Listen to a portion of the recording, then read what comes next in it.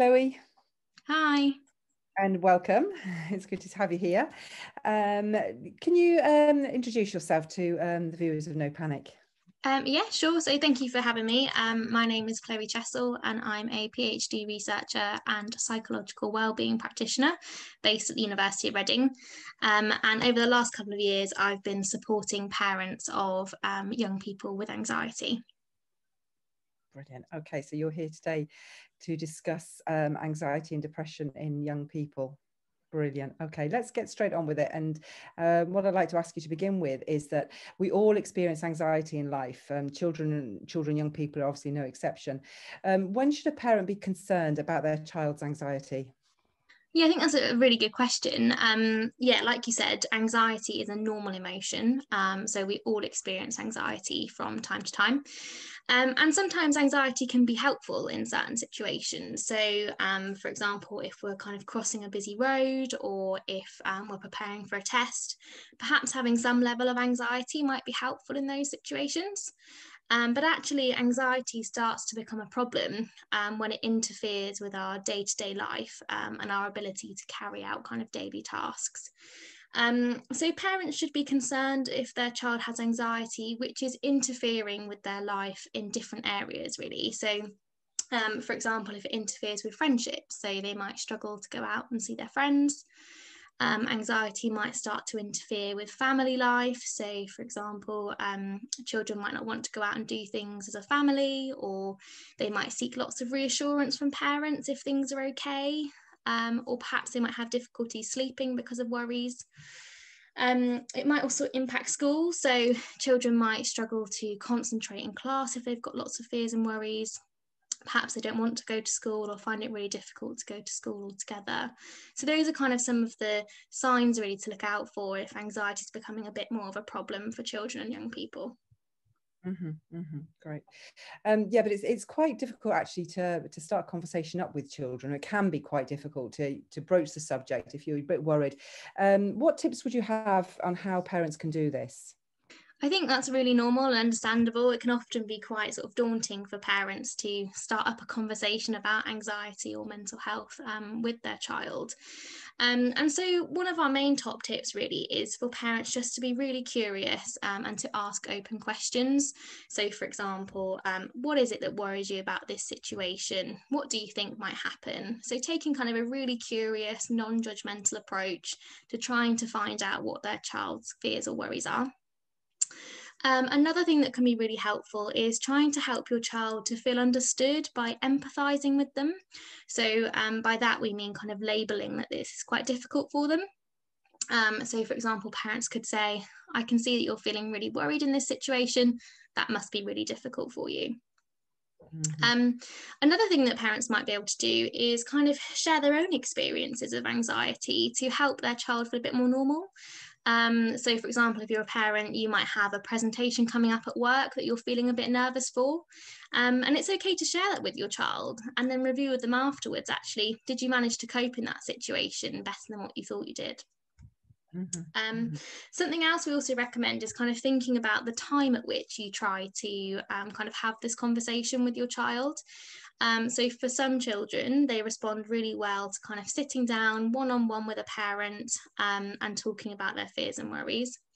Other children might prefer if the kind of attention is sort of less on them. So, for example, if you're out kind of walking the dog, um, or if you're kind of in the car driving, that might be a better time for some children to feel a bit more open about talking about their fears or worries.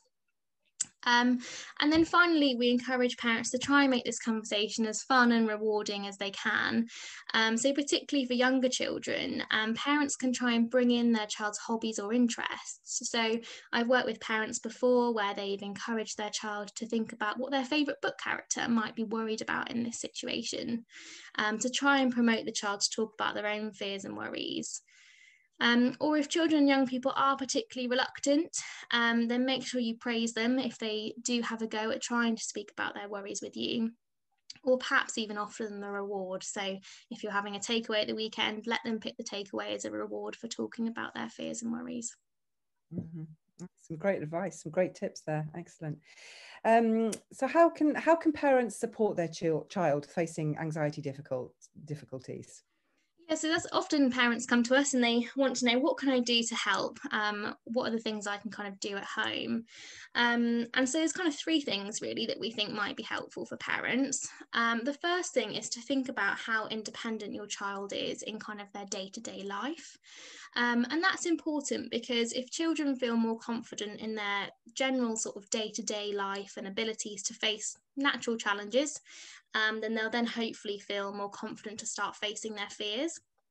Um, so we'd encourage parents to maybe have a think about whether their child is as independent as other people their age, um, and if there are any kind of age appropriate activities um, that children can do um, with um, yeah that you can encourage your child to do um, and that's as i said so we can build their confidence in their ability to manage day-to-day tasks um, so they then feel more confident to go on and face their fears. So that's kind of the first thing that parents can do. Um, the second thing is that parents can help their child to test out their fears in a step-by-step way. Um, so when I talk about this, really, it's all about kind of parents and children working together um, to identify a goal that they want to work towards. We then encourage you with your child to think about how you can break that goal down into smaller, more manageable steps once you've kind of had a thought about what some of those steps might be working towards that goal, it can be helpful um, if you think about with your child how anxious they would feel doing each of those steps. Um, and sometimes it can be helpful to think about this on a scale from zero to 10. So, zero would be no anxiety, that step would be really easy. Um, and 10 would be actually that step's really anxiety provoking and really hard. Um, and then we can use those ratings to put those steps in an order um, working from the easier steps up to the harder steps towards that goal.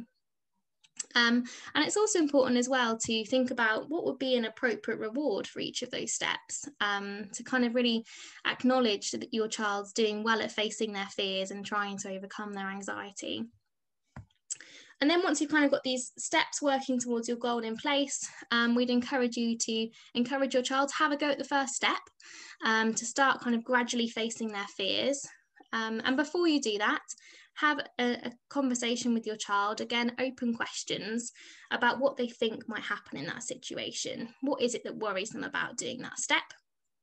Encourage them to go out and do the step um, and then afterwards, it's really important to review that step with your child. So, did what they think happened come true? Did something else happen? What did they learn from doing that step? And, and did they cope better than what um, they thought they would?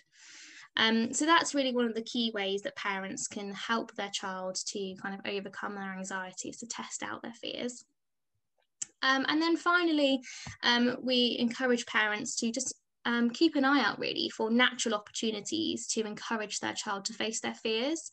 So there are lots of opportunities in day to day life that we might come across. Um, so, for example, if your child um, is anxious around dogs, might be that you're walking down the street um, and someone's coming towards you with their dog.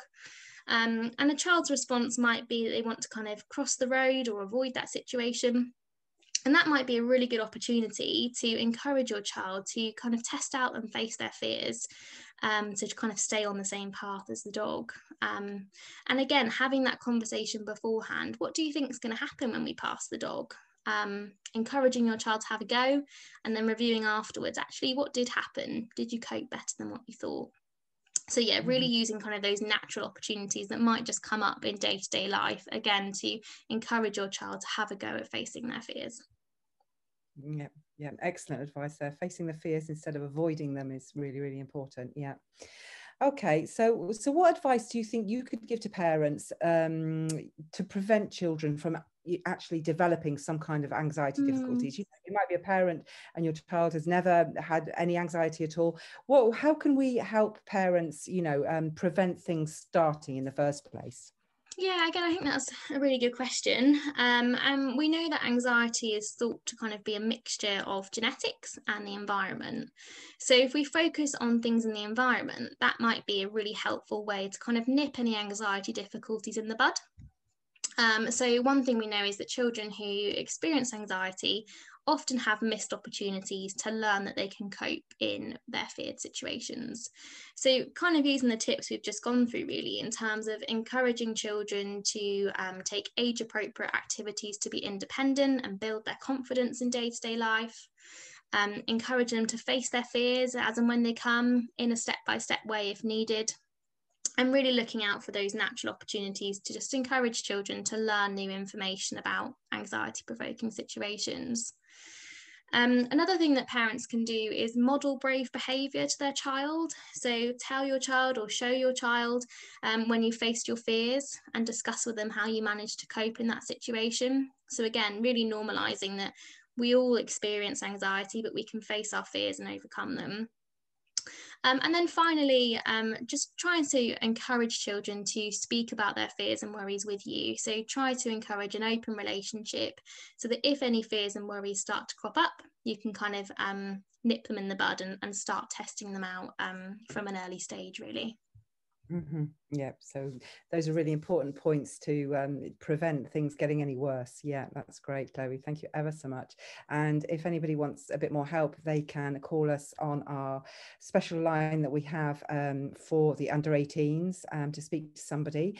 Um, and you can also pop over to our website and get some more information there on uh, children and anxieties in general. Thank you ever so much, Chloe, for joining us and answering those questions. I'm sure they're going to be great use to many, many people. Thank you very much. Thank you.